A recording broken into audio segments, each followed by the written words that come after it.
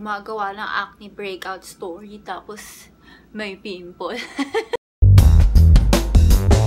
Hello! So today we're going to do a different kind of video, a somehow story time, a talky video, wherein at the same time, I'm going to give you some tips, tricks, or can I call them life lessons? Lessons that I learned when I broke out. But it's all good, it's all good, everything is under control. So I wanted to do this video because I want to help you guys when you are in the same situation that I was and that you are breaking out. You don't know what to do, it's as if nothing is working. Alright, my intro is very long, ang daldal ko. Very sorry, let's go. So I have been using the same skincare line for almost 10 years and that skincare line is the Proactiv. So I follow the three-step system which is you cleanse, you tone, and then you moisturize or you put on your medication and you also have a mask. I started using Proactiv when I was in the first year of high school, FYI. So it was a really trusted product. I did not have any problems regarding any pimples after using it. That is until December 2014. On December 2014, my skin went haywire. I had a lot of acne on my cheeks which is very unusual because when I get acne, I get them here, around here, when it's the time of the month.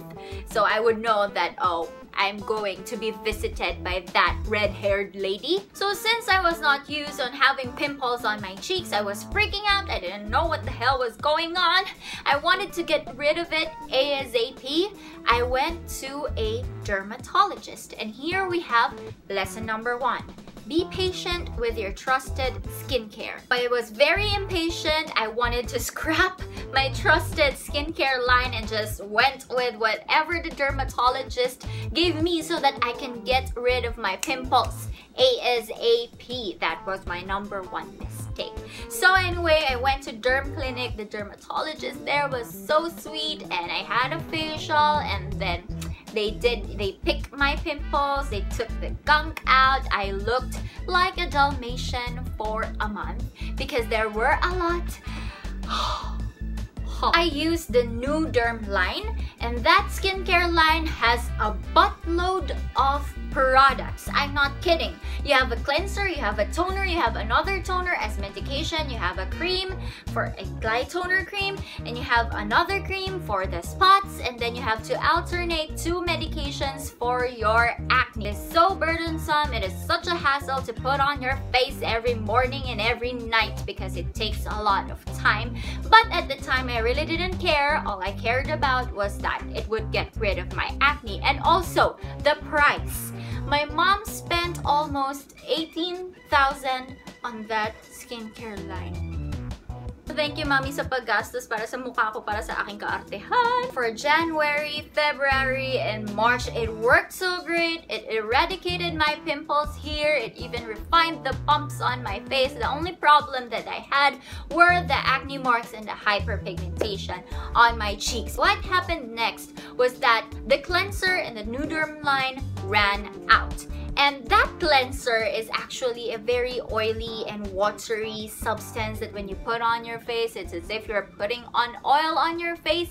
It does not lather, it does not soap up. So, instead of buying another cleanser, I thought, why not save money and just use Cetaphil? Because it looked and felt the same way. That is where we go to the second lesson, which is do not mix other skincare products with your skincare line while your skin is still recovering from breakouts. I used Cetaphil with the rest of the Nuderm line and it worked out great but I realized that as I went on with them, the Cetaphil plus Nuderm, I realized that I started to get bumps on random places on my face and these bumps do not look like pimples.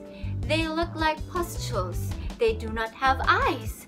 what are those? And also at that time, the other products that I have been using in the Nuderm line are already irritating my skin, but I still kept on using them. So I just figured, oh, maybe Cetaphil was the one that was making all that skin reaction. So I decided to use a different cleanser. Here we have our third lesson.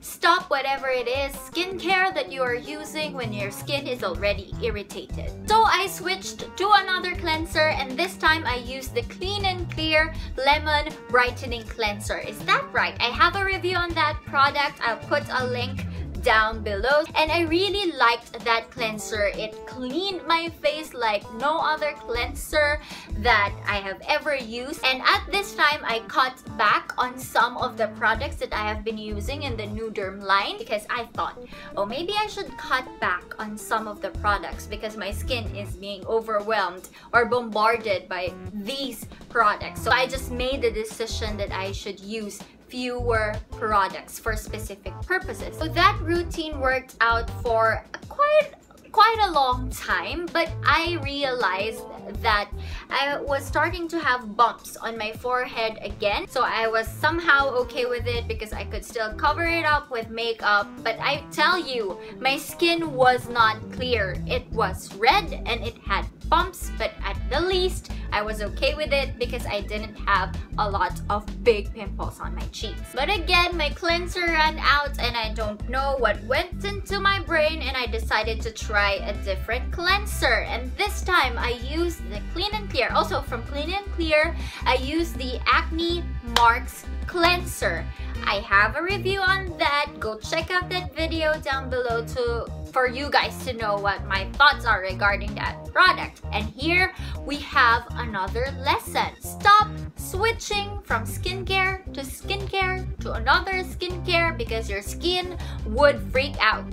And that is precisely what happened on my face. My face broke out from that cleanser.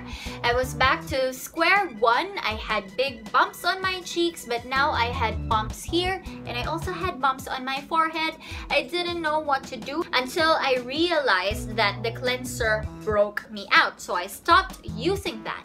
But at this stage, I was already so scared on trying a different skincare product that I don't know what to do. Also, I didn't want to use the Nuderm line anymore because I felt that they were not working anymore. So we went to Daisy's skincare clinic. I know that it's not that popular, but the thing is, they just do a great job there. I would put a link to their website down below if you want to check them out. They are great when it comes to facials. I was given a new skincare routine, but this time, the skincare routine is so simple. I only had the Daisy's cleanser. I forgot the exact um, name, but I would flash the picture here.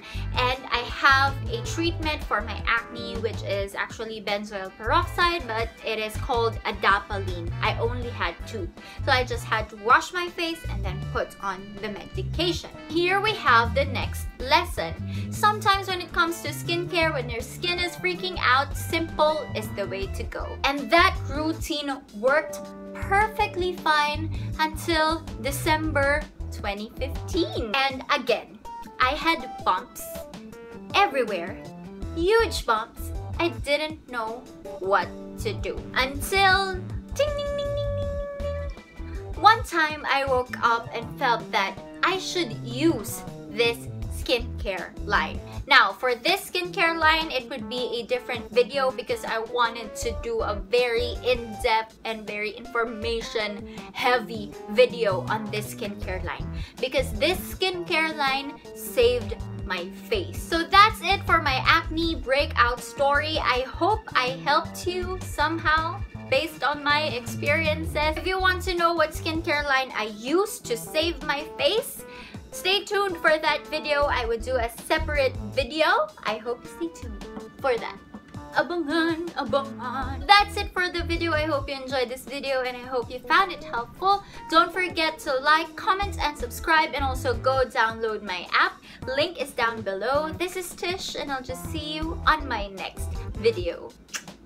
Bye! These are my social media, so follow me, tweet me, stalk me. Okay, do not stalk me, but let's just be friends.